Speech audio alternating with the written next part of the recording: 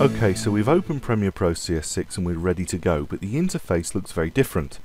One of the big changes you'll see is that the project panel, which used to be up here in CS 5.5, is now down here and has been completely redesigned. Let me just show you CS 5.5 and you'll see that here's the project panel. Firstly we have a little preview window at the top and here are the items down here and we have two options. We have list mode and icon mode. Now icon mode is often referred to as the storyboarding mode because you can shift items around so that they're going to be in the right place for however you want to do your story. So that's often the storyboarding mode and we often worked in list view. Whereas you will find if we go back to CS6 that actually you still have list view and icon view but quite often we're going to be working with the icon mode and also we've got no preview window at the top. Now at the moment I haven't brought anything in and if you want to use the preview window, you can still get to it through the panel menu just here. So you can go to the panel menu and you'll see that it says preview area and we can preview things up here. However, with CS6 you're going to find that you use this less and less because of the way that the project panel has been redesigned. So I'm actually going to turn off the preview area. So let's have a little look. Let's actually import some footage. Now you can do it a number of ways. Now it's just worth saying at this point, if you're going to be a serious editor and do lots of video editing, you're going to actually find that using the keyboard is the way that you want to work. You don't really want to use the mouse because going over to the mouse, grabbing the mouse and then having to double click something or go file import or whatever you want to do, you're going to find that it's going to be a lot quicker to learn your keyboard shortcuts. Now all your keyboard shortcuts are shown through your menus, so you can see here, for instance, save is Control S, as it would be in a standard document. Save as Control Shift S, and in Mac that's going to be Command S or Command Shift S.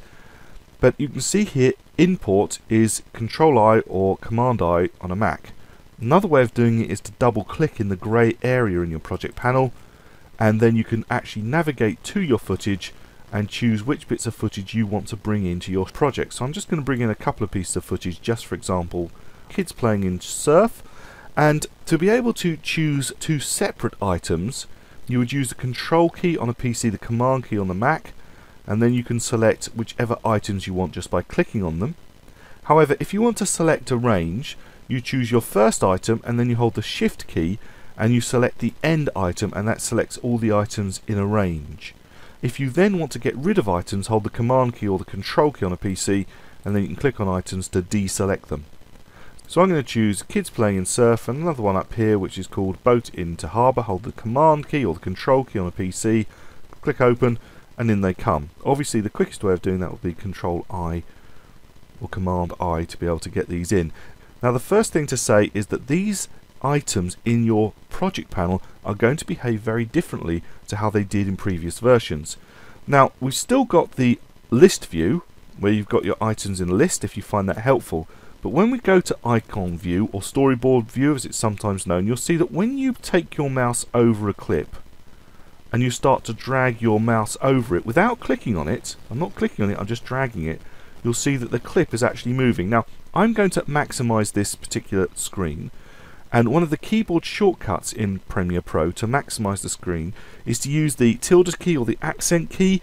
Now, for different keyboards it works in different ways.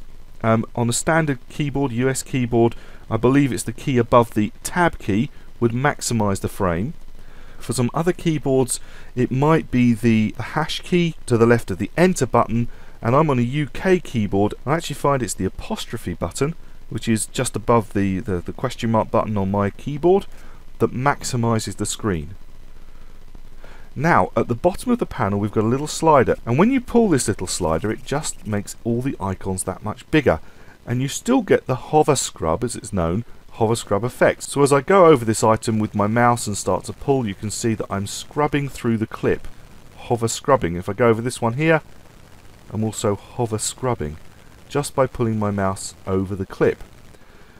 not only can you go backwards and forwards through a clip, you can actually even choose in points and out points. So let's say I want it to be the in point just before the man comes around the corner. You'll see just up here the man will come around the corner. So let's say that's my in point. So what I'm doing now is defining the bits of the clip that I want to use in my project. What I'm saying is I don't really think I'm going to use any of this footage all the way up to when the man starts to come around the corner, which is there. I don't think any of that previous footage I'm going to use. So what I can do is say from this point is my beginning point, hit I for in point, and then go till I get to where I think my out point should be, which is just about there past the castle. Get that little wave over the side, and hit O for out point. Now I've actually selected an in point and an out point on the clip, but I can't see it, I hear you say. Click on the clip, and you'll see that there's my in point and my out point. I've still got a playhead, I can play between, but I've specified which bit of the clip I want to use by just going I and O while I was hover scrubbing, which saves an awful lot of time. Previously, I would have double clicked the clip to get it open in the source panel and chosen my in point and my out point there, but by hover scrubbing I can actually choose my in point and out point right here in the project panel. Now that clip's got an in point and an out point specified, and I simply did it by getting to the beginning that I wanted to get to, hitting the I key for in and getting to the point where I wanted to finish and hitting the O key for out. And if you got it wrong, say I want to finish nearer to this point here, I can just go there and click O and it changes the out point. So in point and out point can be specified in the project panel by hover scrubbing.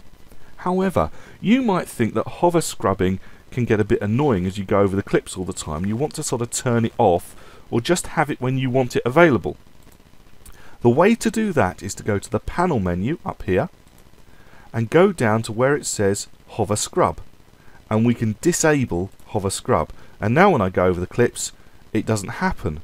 But if I then want to get to hover scrubbing so that I can set a new in point and out point for the clip let's say these kids running backwards and forwards if I hold the shift key hover scrubbing is temporarily enabled.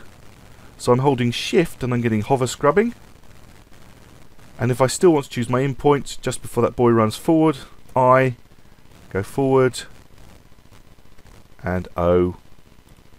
Just don't have your shift key down when you do your I and your O. So for instance, if I go forward and I'm holding shift key and I do O, you'll see that nothing happens.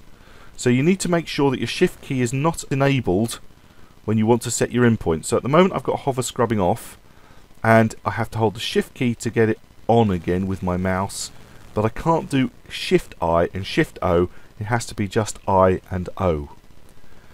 Now if I want to get to list view, rather than clicking down here and going back to list view, all I need to do is hold the Shift key and the key right next to it, the backslash button, and that will toggle me between list view and icon view very quickly.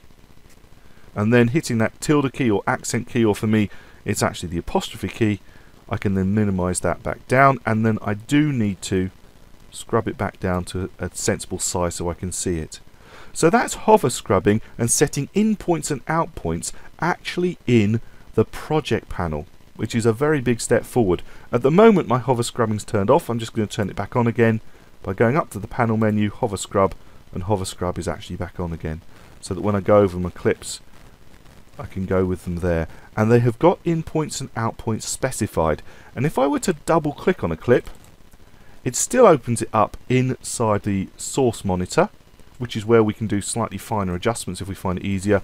I can still go backwards and forwards, and I can still change those in points or out points either by taking the end and pulling it backwards and forwards, or by hitting O and snapping it to where my current time indicator or my playhead is.